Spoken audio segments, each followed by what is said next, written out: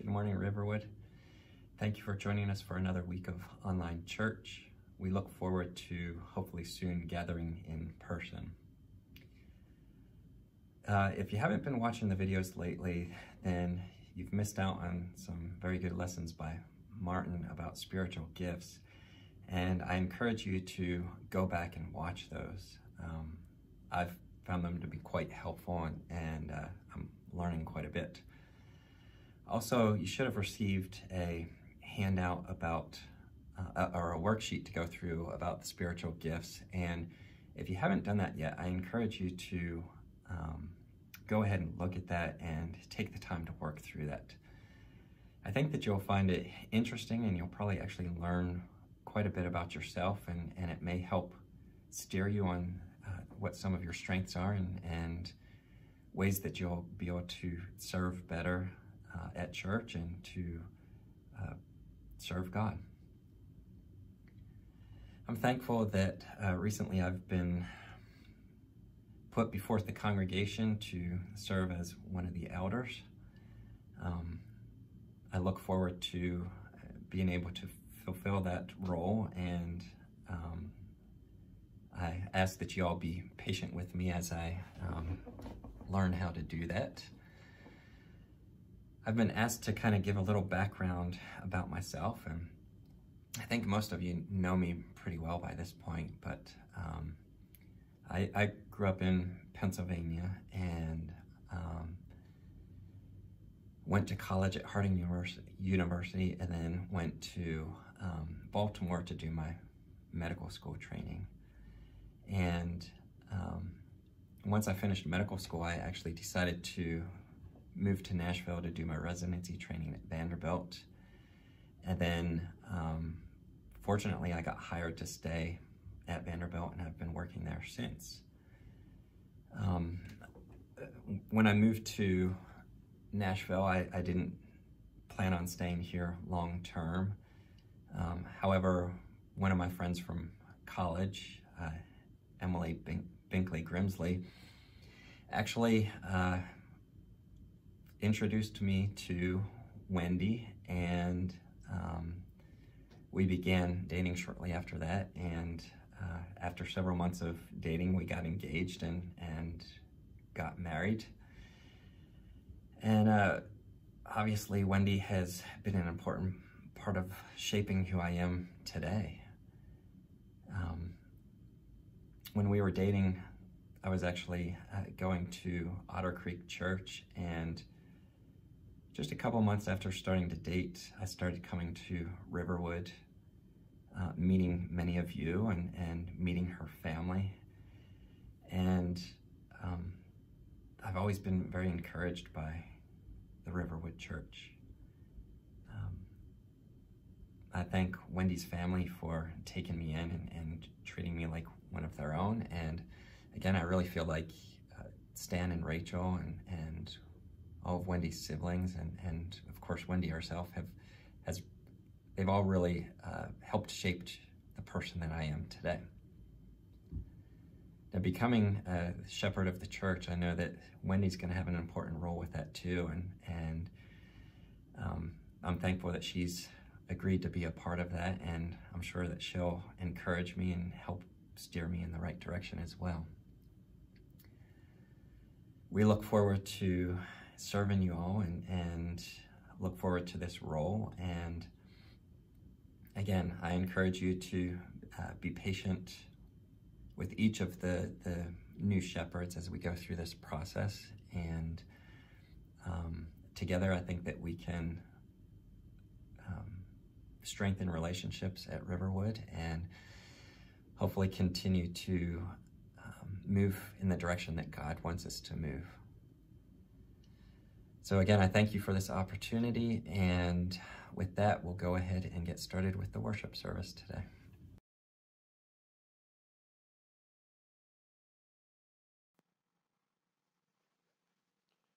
I'll be reading from Colossians 3 12 through 17. Therefore, as God's chosen people, holy and dearly loved, clothe yourselves with compassion, kindness, humility, gentleness, and patience Bear with each other and forgive one another if any of you has a grievance against someone. Forgive as the Lord forgave you. And over all these virtues put on love, which binds them all together in perfect unity. Let the peace of Christ rule in your hearts, since as members of one body you were called to peace. And be thankful.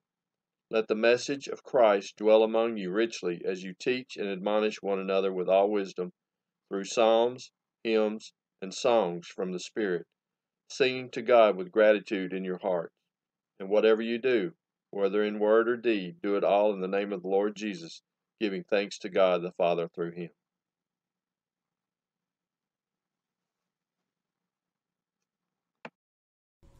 Jesus, name above all names, beautiful Savior, glorious Lord, Emmanuel,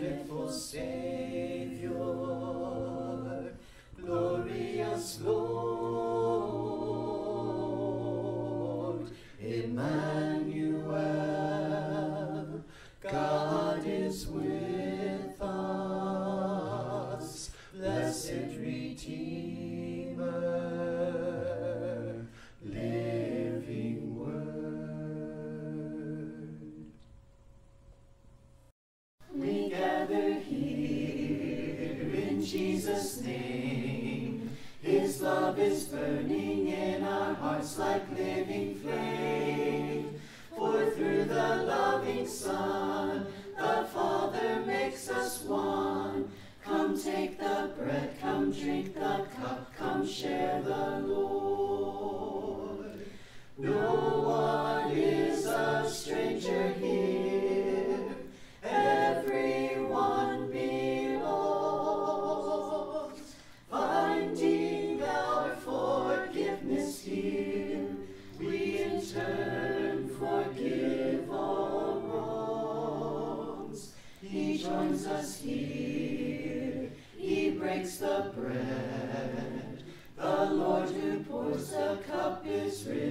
from the dead. The one we love the most is now our gracious host. Come take the bread, come drink the cup, come share the Lord. We are now a family of which the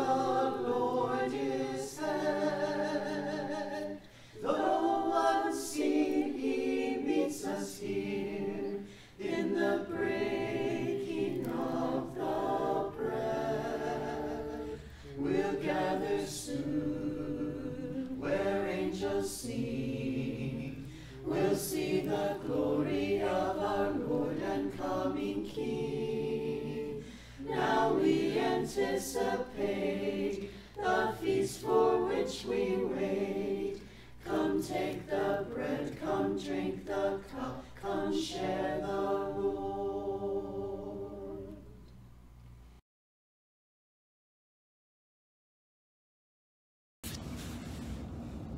Good morning, Riverwood. Uh, you know, as we've gone to a virtual church, uh, you've probably seen videos from all over. So today you get a video from me in the car, so uh, forgive me for that. Uh, but I hope you've had a great week. I hope that God has blessed you this week. I hope that you've been able to find ways to to uh, to show your Christianity and, and love for others uh, in what you do at work uh, and just in your daily lives with your kids and your family. Uh, this week, as I was thinking about communion, um, you know, I, st- I started to think about what you know every week. What are we going to talk about with communion? And and and we always talk about God's sacrifice, and that's absolutely right. That's something we're going to be uh, talking about here in a minute as we pray. We talk about Jesus coming to earth, uh, you know, for, to, to to give us the hope of eternal life, uh, to, to to basically take the sin that we uh, that we exhibit every day, and uh, and to be able to wash that. So, as I started to think about this, uh, I really started thinking about just the way we as Christians can can can really uh, spiral downhill uh, as we start to, to to to live a life that we're not we're not you know happy with uh, when we have to struggle and and, and turmoil uh, when we when we feel like we've let uh, let our, our, our fellow Christians down we've let God down. Um, it, can lead us away from God and, and, and communion is a time every week uh, when we have the opportunity to just reflect um, on the sacrifice that was made, uh, the ability to be renewed, uh, to be able to be washed free uh, fr from our struggles, our strife, uh, the, the, thoughts that maybe entered our mind that weren't uh, as, as, pure and holy as they need to be. you know, if we had a bad week, we haven't we haven't exhibited the love that God wanted us to do. This is a time for us to to, to think back uh, on God's example, on, on Jesus, on, on, you know, the example that Jesus showed on this earth when he came and walked with us on earth. Uh, and it's a time for us to start over. So at this time, uh, we're going to bow and, and just kind of uh, take time to remember and to reflect on the sacrifice that was made and uh, what it really means. It's again that renewing, that washing uh, weekly as we talk, as we go through communion uh, of our struggle. Uh, it gives us the opportunity to uh, to start the week with a fresh uh, a fresh perspective. So let's bow. Dear Lord, we're so thankful for one this day and the opportunity for this time of communion, this time to reflect on on you, on the sacrifice that was made uh, for the by giving of your Son uh, to come and walk on this earth, uh, to to suffer persecution, to uh, to be an example, to demonstrate love uh, regardless of, of, of uh, what was going on in his life. Lord, as we struggle on a daily basis, it's easy to get down on ourselves. It's easy to to think of ourselves as less than what we really are, and that's that's that's your children. Uh, we are your children. Uh, we are made um, in your image, and that we and we know that through the sacrifice that was made on the cross, through the through the suffering, uh, through the breaking of, of, the body on the cross and the shedding of blood, uh, that we have that chance to be renewed and refreshed if we if we commit to you, uh, if we if we truly repent, uh, if, if we bring you to the forefront of our lives each and every day. So Lord, at this time, just help us to remember that sacrifice that was made on the cross, the the the, the struggle, the pain, uh, the blood that was shed, uh, and all all done freely. Uh, let us never forget it was done freely, and it was done with the bigger plan in mind.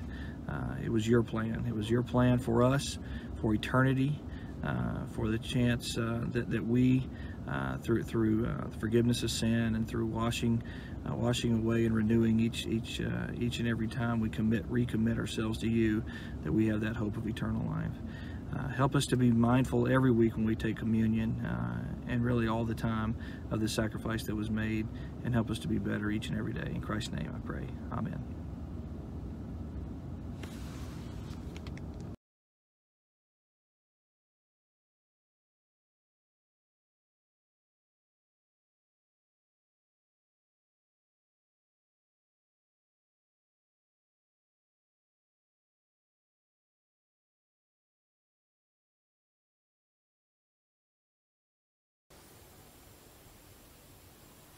As I am recording this, Rachel and I are in voluntary quarantine. As I think has been announced on a number of occasions, my father has been facing some health issues for about the last year or so, and we faced a very difficult decision to put him into a nursing facility, which we did on Wednesday. As they were admitting him into the facility as part of that admissions process, they just normally give everybody a COVID 19 test. And to our complete surprise, he tested positive. So we're being extra precautious at this point and taking some extra things for us there. Now, to this morning's topic. As I have said many times in the past, I try to stay out of politics, but I will oftentimes use the political realm when it provides application and insight. And with that vein kind of set before us, I would mention the delivery this last week of the articles of impeachment of our now former President Donald Trump on Monday to the Senate as an example for you. This second impeachment was voted on earlier in the month, but only delivered this last week. And the action of the Senate will be delayed, I think, according to latest reports, until about February the 6th. And it's uncertain how many Republicans will vote to convict. It is, for that matter, uncertain whether it is even constitutional to impeach a now ex president. But in the wake of all of the actions January the 6th at the Capitol, there were demands for accountability. Someone above and beyond those individual trespassers and looters had to be called to account for their actions. And that illustrates how accountability can become a very tricky concept. On Monday, same basic time, a World Health Organization team arrived in Wuhan, China to investigate the COVID outbreak. And at the same time, the Chinese state media claimed that the virus was developed in a U.S. military lab.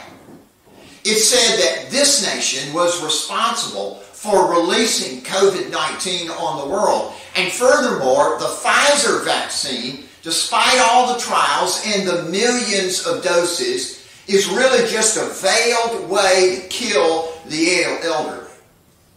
Now, most agree that both of those arguments are just a way for China to take the sting out of their mishandling of the whole pandemic in those early days. Now, in truth, we could continue this exercise literally for hours. And if we were meeting in person, like I hope we'll be doing very soon, I'd probably pause here and ask for some, some examples from you. Uh, but in so many areas, even the creation, again, another item that was in the news this week, the creation of the Citizen Oversight Board for the police, there's another example about accountability. It's everywhere. And generally, we are all for it, especially for others. We want accountability for teachers. We want accountability in our schools and for doctors and for politicians, all the way down the line. As long as no one does it to us. Folks generally run from anyone providing critiques or comments about their behavior. Why? Well, we are in a society where independence is a core virtue. Uh, we don't like other people telling us what to do. I, I read, again, this last week, an article from CNN uh, that said airline flight attendants rate mask issues as one of their top stresses. To be clear, most flyers are wearing their mask gladly for their as well as for others' safety. But as the airline industry instituted those mandatory mask policies really early on, the enforcement, the accountability fell on the crew members. And the response is often belligerence and verbal threats, and for that matter, even physical assault. And the same happens in the grocery store, doesn't it? Multiple companies are now developing the COVID 19 vaccine. And the next controversy, let me just go ahead and tell you, it's already starting, is whether or not that can be required for employment. Can you make a hospital worker or a cop or a teacher have to be vaccinated to keep their job. Uh, these controversies, you see, are just another expression of this notion that is deeply rooted in the American psyche. No one can tell me what to do. And it makes accountability a real challenge. Now, in the church, our cultural assumptions seldom stay separate from our faith. Most of you have probably forgotten but way back in the mid 1980s, there was a woman who brought a lawsuit against the Church of Christ in Collinsville, Oklahoma. As a reminder, she had moved to the community. She was given help and assistance and aid by the congregation. In fact, she became a member. She was baptized.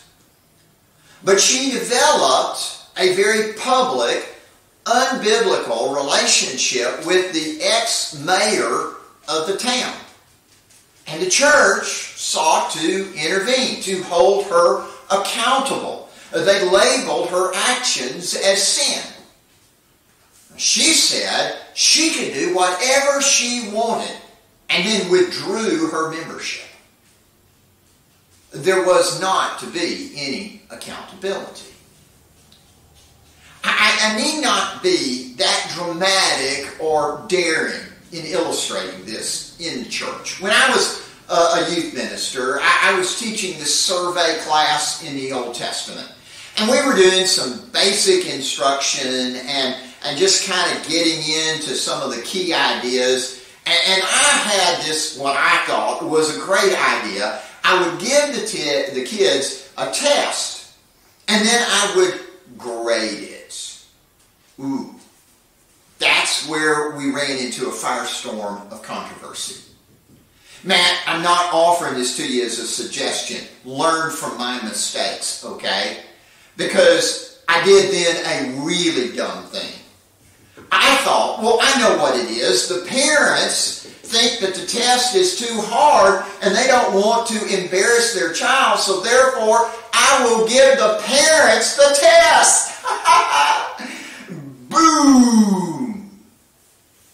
The eruption of Mount St. Helens, a hydrogen bomb exploding, those are quiet by comparison to the roar that I created. Look, we are fearful, we are hostile of anything associated with accountability, with the A word. The notion that accountability is foreign to our concept, really, of just about, about anything is so common. And that includes religion. But now, here's an important point. The writers of the scripture didn't share our American perspective. You see, they thought accountability was important. Now, there are some biblical passages that are misused in this area uh, that I need to kind of clear off the ground. I'll start with the most preposterous. There's a statement that Jesus makes in the Sermon on the Mount in Matthew chapter 6, verse, oh, about 3 or so. And he says, Don't let your left hand know what your right hand is doing. And some individuals will say, See, that shows that the left member and the right member aren't supposed to hold each other accountable. It's an obvious exaggeration, or at least it should be. I mean, Jesus is trying to make his point. I say it's obvious because it's impossible. I mean, your left hand and your right hand are connected to the same brain. They know what they're doing. And further, applying it to the Christian church, why it goes against every principle of good interpretation. Jesus isn't talking about the church in the Sermon on the Mount. Now, some will fight accountability by talking about individuality. And the idea here is that I'm saved individually. I'm saved by my choices, whether I will follow Christ or not. And our relationship to God is personal. Ultimately, it's just between me and, and He. And, and that's true. But that's only part I mean, there's a role for the community of faith, right? I mean, how many of us came to Christ without this community of faith? The community of faith that gave us the Bible, that gave us worship, that taught us about who God was and Jesus was, etc. And the final cry is that it's somehow unfair or improper to judge. And of course, that starts with Matthew 7, judge not in that passage.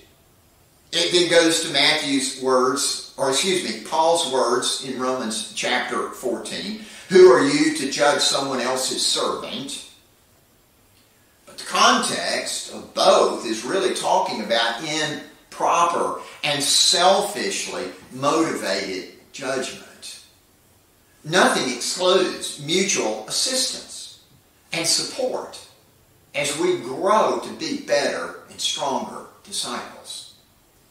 And I think this is especially important when one balances this with the positive statements that the New Testament makes about accountability. And that begins with our leaders and this whole notion of what it means to be a shepherd. A shepherd is responsible for the sheep. That's what it says in Ezekiel 34, verse 10, where it's talking about a spiritual relationship and the application of that.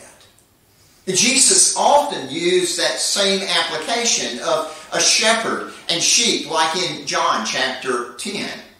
And so it's no surprise that when we get to Hebrews chapter 13, verse 7, the writer says, Obey your leaders, submit to their authority. They keep watch over you as men who must give an account. An account. I think this is rooted in our nature itself. I mean, sheep, let's be honest, they're not the brightest farm animals. I still find it hard to imagine one of them saying, Look, you can't check my wool for briars. I've got a right to privacy. Are we dumber than sheep? If we move beyond leaders, the very nature of all of these one another relationships that we find in the scriptures just shout accountability. We are to love one another. We are to serve one another. We are to be devoted to one another, to confess our sins one to another. And the other side is there too. We are to submit to one another. Ephesians chapter 5, verse 21. Admonish one another. Colossians 3, verse 16. Encourage one another. 1 Thessalonians 5, verse 11.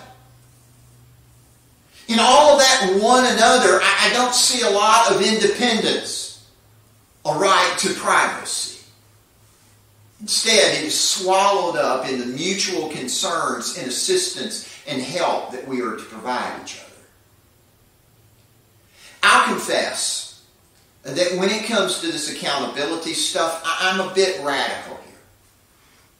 And, and I truly believe that that extends very far in our relationships and connections with each other. I believe we ought to be open to one another, open to our leaders. And for that matter, they to us in any and all areas of our life. Maybe some of that comes because I'm a preacher and, and I've been held accountable for 40 plus years. I mean, my position is of almost by definition a fishbowl. And you're used to being looked at. If you doubt how far that can get, I would just tell you about a woman in Florida who went to my wife and invited her to lunch and over the course of lunch let her know the reason they were getting together was because she thought that my wife would project a better image if she wore more makeup and jewelry and kept a little bit better care of her, her hair. Now, I try to appreciate what I view as true love and concern of brethren. By the way, that crossed a line. But, but in many ways, my walk with God is, is better because there have been a bunch of folks who have, who have been willing to hold me accountable. And I'm not talking about the, the, the crazy stuff about ties and sport coats and the cut of my jeans, okay? I'm, I'm talking about important things. And this help shouldn't only be for preachers or ministers or their families. The whole body benefits if we would do this with one another on a whole variety of areas. You might disagree with me on the full expanse of that, but I want you to know it can be an incredible blessing. My children were teens in the 90s. And in that era, the internet was relatively new and was fairly unknown to most parents. And I began reading and seeing some things about pornography that was available on the internet and its impact, not only on adults, but on teenagers too. And so I had a frank discussion with my oldest son. And he shared with me that he and his best friend had been talking about that very issue. At the time, there was this computer app. That's we called them programs in that day. Uh, but this this program, this app, if you will, that monitored your internet usage and sent back a report to some of the places that you visited if they were questionable. Now, you could cut it off, of course, but it sent a notice that you had done that too. So, for many years, John, his friend Kevin, and I reported to each other. I had friends. I, I had folks that I knew who lost their marriage, who lost their jobs, who lost their ministry to pornography. And I'm convinced that my accountability to two teenagers was an important reminder and help to me. Accountability works, folks. But we need to understand spiritual gifts needs to be expressed and thought of here as well. You see, accountability for our gifts flows from those one another bonds. And accountability is a consequence of Paul's body image that we've been talking about now since November in 1 Corinthians chapter 12. And, think about this latter point. What happens if your lungs decide to take a break and to stop? Well, the other parts of the body begin screaming for oxygen. They demand that the lungs do their work. The body is to move and to work together. Imagine that you're out on a hike and your eyes, part of your body, they see a bear charging. And so the eyes send a message to the brain, and the brain sends a message throughout the body run! Now, by the way, that's a bad message. Okay? And that's not what you want to do if you're having a, a bear come at you. But nobody said the brain is always right. Okay? But in the image here that we got, the body is now turned around and it's running, and our breathing has gone up, and our heart rate has jumped, and off we go. And we're 50 yards down the trail, and the bear is gaining on us Bears run faster than we do, okay? The bear is catching up with us, but our knee starts to hurt. What does the body say? The body says, not now, knee. We got to keep going. What is that? It's accountability. The same is true in God's body. We have work to do. Work to do together. And if the parts aren't doing their job, it is both right and the responsibility of the body at large to keep the parts moving. And that, my is what accountability in the area of spiritual gifts is all about. Look, I know in, in our culture, we're seeing the the fruits, if you will, of this concept of unbridled independence. And by the way, the harm that it does. Uh, there are these moves uh, uh, through testing, for an example, to hold teachers accountable for the progress of their students, schools for the product that they produce. More states are enacting laws which hold parents accountable for the behavior of their children. As a society, we're starting to hold cigarette companies accountable for their products, bars uh, for some, letting somebody drink too much and then drive. Polluters are held accountable for their products. Uh, there are signs, I think, in this broader Christian culture where folks are starting to accept and to see the need for higher standards. Churches are creating what are known as covenants, literally agreements that folks in some churches commit to and even will sign to be a part of that church. And it includes some declarations of behavior. And it can include everything from how often you will attend, what your giving will be like, your participation, uh, how many times you'll share your faith.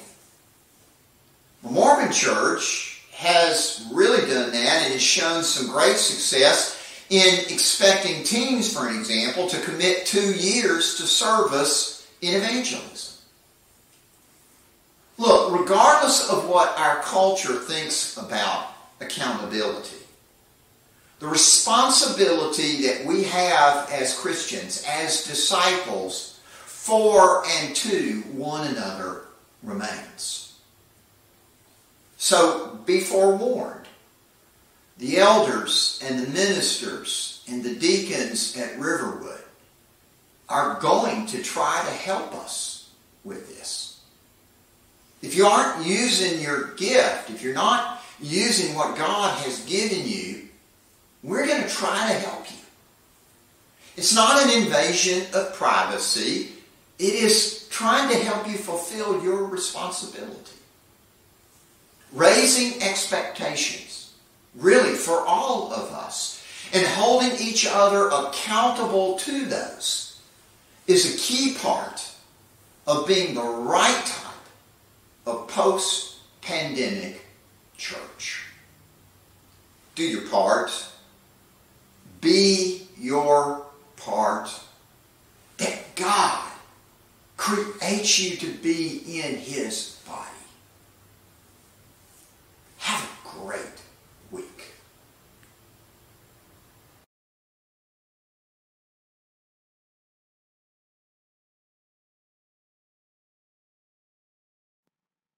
Good morning, church. Let's go to God in prayer as we continue to celebrate honor, and acknowledge who He is. And thank Him for all that He's done. Let's pray. Heavenly Father, we come to you now in the fullness of your presence, acknowledging and embracing the fact that you are here in the midst of what we are doing as we come to you to worship, as we come to you to embrace your love, be filled with your love, and honor you for all that you give in so many different ways. And God, one of the challenging things right now is that we're all uniquely struggling in different ways. But God, you know what those struggles are. You know what those frustrations are. You know what those hurts are. You know what that pain is. And God, we give that to you right now. So, as we focus our hearts and minds on you today, as we intentionally allow ourselves to come before your throne, to see you, to know you, and to be known by you, that all the other distractions of the world are laid at rest, so that we can fully and completely embrace you and your love. God, I thank you so much for the fact that you have gone to such great lengths to allow us to know you. to allow us to experience your love. And that, God, that you were willing to give up so much simply so we could be with you.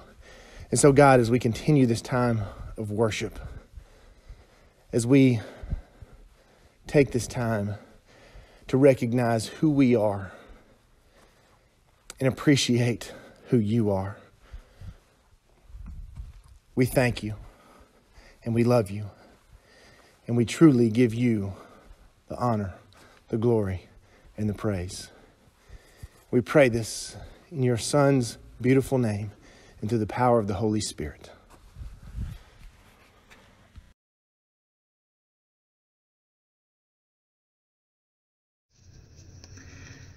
What a wonderful morning to come together and to worship such an amazing God.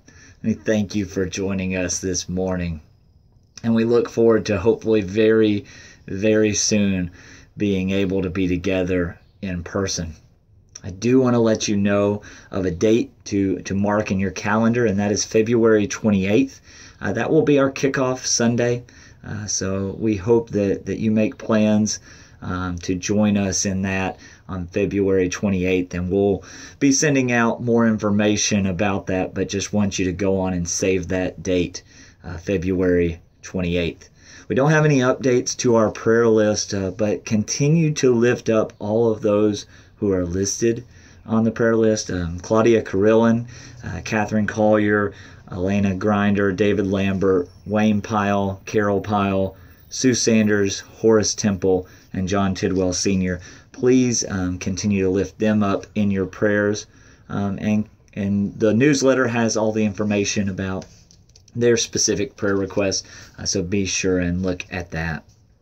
Also, there are a couple opportunities for us to be able to serve and to help um, some schools in our area. One is Inglewood Elementary School, as they are working with Second Harvest Food Bank on distributing food boxes. Um, and so there is information about that on the newsletter if you're interested or able to help with that. And then also, East End Prep is looking for um, some tutors virtually. Um, if you have the opportunity or desire um, to help tutor virtually for East End, please contact myself or Rod uh, Bame and let let us know, uh, and we'd be glad to get you um, the information um, you would need. Um, and also, there there are a couple of training sessions or, or videos to to be able to help prepare you for that if you are interested in doing that. Uh, we also want to send encouragement to East End Prep, the staff and the teachers, as we kind of uh, work with them. So uh, if you are uh, able to to send some encouragement, let me know, and I'll be able to. I can send you uh, some information on, on some of the teachers' names and and address to send that to. Um, so over the last year and a half, two years, maybe even longer, you've you've heard us uh, say the vision statement. Glorify God, share Christ with others through loving, growing, and serving together. And when the leadership team came up with, with this, um, this was not just to be some catchy statement, but to be something that kind of marks what we desire the congregation to focus on. And it's found throughout Scripture. And I'll break it down a little bit for you today. To glorify God, it is what we're called to do. It's what we're to do each and every day with our lives, no matter how young, no matter how old, no matter how talented or seemingly lack of talent, no matter what the circumstances, we are to glorify God. He has blessed us with many different things, and we are to use Him for His glory and then share Christ with others. This is the Great Commission, what we're taught to do, to share Christ with others, and not only commanded and taught to do that, but should have the desire to do that. And the incredible gift we were given of Christ's sacrifice and the good news that we have and the hope that we have of sharing, we need to share that with others and continue to share who He is and His message, His word with all those we come in contact with and then loving. And we are taught the most greatest commandment to love the Lord your God And the second is like it to love your neighbor as yourself. In fact, Scripture says they'll know we are Christians by our love. So we are called to love. And we're called to love in all circumstances and love all people. And then we're called to grow. Growing. We should be growing each and every day. We should be growing in our walk with Christ. We should be growing as a body together. And we should be encouraging each other in that growth.